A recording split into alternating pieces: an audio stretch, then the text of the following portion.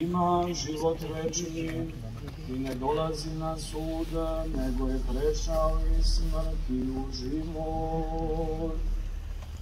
Zaista, zaista vam kažem, evo ide čas i već je nastao kad će mrtvi čuti glas Sina Božijega